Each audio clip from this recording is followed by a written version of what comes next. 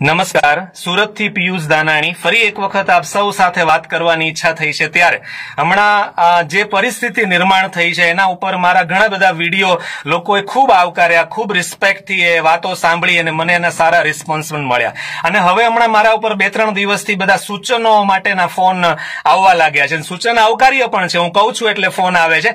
એમાં વાંધો નથી. પણ હમણાં એટલા બધા સૂચનો આવે છે કે ડોક્ટરોને જાગૃતિ થાય, એના માટે કંઈક કરો. ડોક્ટરોને કહો અમને લૂંટે નહીં.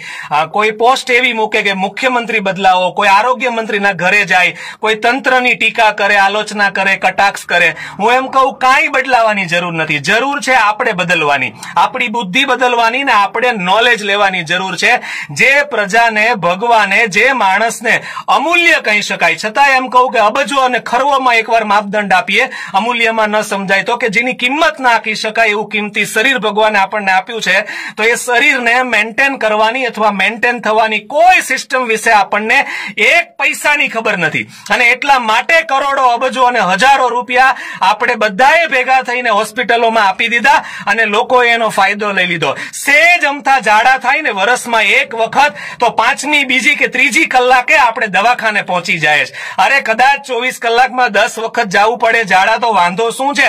ભૈલા એ બોડીનું શુદ્ધિકરણ થાય છે, તું એને દવા લઈને સીલ મારવાનું રહેવા દે.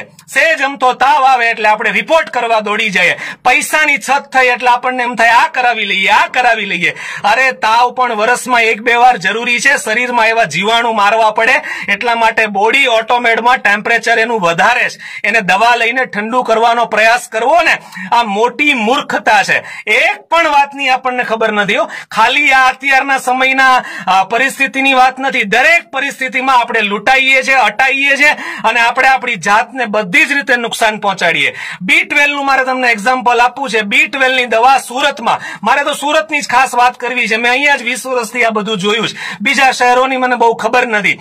બી ટ્વેલ્વની દવા લેવા ડોક્ટર પાસે જ્યારે જ્યારે હું અને કોઈ પણ ગયા છે ને ડોક્ટરે ચાર જ ઓપ્શન આપ્યા છે. એક તો માછલી ખાવ અથવા એનું તેલ ખાવ, એક તો બાફેલા ઈંડા ખાવ, અને ત્રીજા ઓપ્શનમાં અમારી ગોળીઓ ખાવ, અથવા અમારા ઇન્જેક્શનનો કોર્સ કરો, તો જ તમને બી જાય. અરે આ જગતની અંદર અડદની દાળમાં જેટલું બી છે ને, એટલું એક પણ પદાર્થમાં નથી.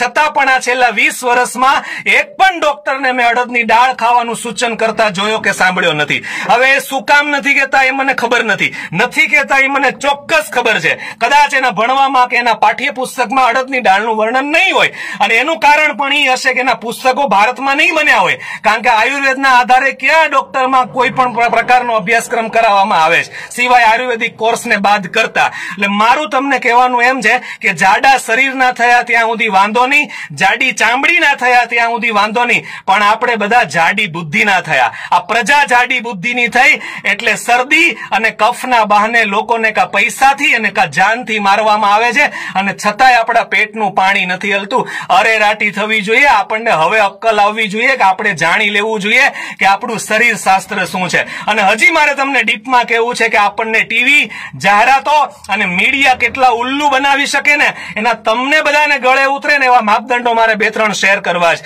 સિંગતેલ ખાનારી આપણી ગુજરાતની અને સૌરાષ્ટ્રની પ્રજા કે જ્યાં આમ આમ આમ મબલક સિંગ થાય, એ પ્રજાને આ લોકો જાહેરાતના માધ્યમથી ચોખાના ફોતરામાંથી તેલ કાઢી અને આપણને એ તેલના રવાડે આ લોકો ચડાવી શકે છે ને આપણે ચડ્યા છીએ. વિચાર તો કરો સૌથી વધારે તેલીબીઓ કે જેમાંથી તેલ નીકળતું હોય, આવો કોઈ તેલીબીઓ હોય ને, તો એ સિંગ છે.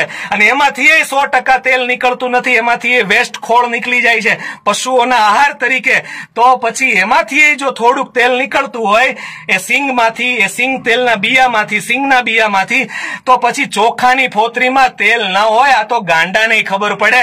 અને છતાંય આપણે ચોખાની ફોતરીનું તેલ, એ મોટી કિંમત ચૂકવીને આપણે કાઢીએ. ચોખામાં જ તેલ નથી, તો ચોખાની ફોતરીમાં કોઈ દિવસ તેલ હોઈ શકે. આ અક્કલ વગરનું આ કામ આપણે આ કરી રહ્યા છીએ. આપણે મીઠું ઘસતા આપણે સારી ઔષધિઓ દાંતમાં ઘસતા હતા. તો ટીવીના માધ્યમથી આપણને મીઠું છોડાવવામાં આવ્યું અને ઔષધિઓ છોડાવવામાં આવી. અને ફરી પાછા આપણને પૂછે કે આપકે નમક મેં, આપકી ટૂથપેસ્ટ મેં નમક હે? તો કે ના, તો એમ કરીને પાછું આપણને મીઠું નાખીને આવ્યું. અરે, અમારા બાપા અમે આજ કરતા હતા, તે ખાલી ખોટા અમને રવાડે ચડાવ્યા. જે પ્રજાને પોતાનું અનાજ અનાજ અને કઠોળ ભૂલાવીને મીડિયા માધ્યમથી જો પ્લાસ્ટિકની બ્રેડ ખાતા કરી શકાય ને, એ પ્રજાને ચોક્કસ શરદી અને કફના નામે મારી પણ શકાય, લૂંટી પણ શકાય. વાંક કોઈનો નથી. વાંક માત્ર ને માત્ર આપણો જ. એનો મતલબ હું એમ નથી કહેતો કે કોરોના નથી.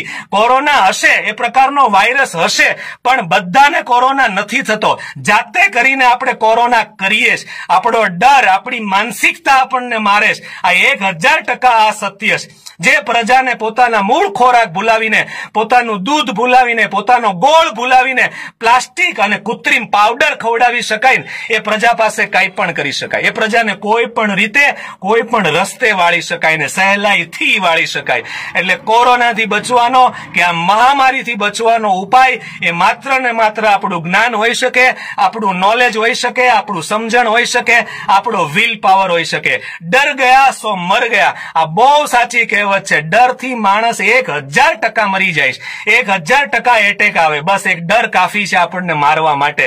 એટલે સાવચેત રહીએ, સાવધાન રહીએ પણ ડરીએ તો બિલકુલ નહીં. અને આવી તો હજાર વાત છે કે જેની આપણે કાળજી લેશું ને, તો ઈશ્વરે આપણું બોડી એટલું બધું સક્ષમ બનાવ્યું છે કે એ આપણને ક્યારેય આટલા બધા નાના એવા જીવાણુમાં આપણું બોડી ફેલ ના થઈ શકે, આપણને એટેક ના આવી શકે. પણ આપણી અજ્ઞાનતા ને આપણી મૂર્ખતાના કારણે આ થઈ રહ્યું છે. અને મારો આગલો વીડિયો જે શ્રદ્ધાંજલિ વાળો હતો, પોસ્ટ ન મૂકવા બાબતે, એની પણ હું આમાં ટકોર કરું કે ખૂબ હજી સુરતના લોકો પોસ્ટ મૂકે છે.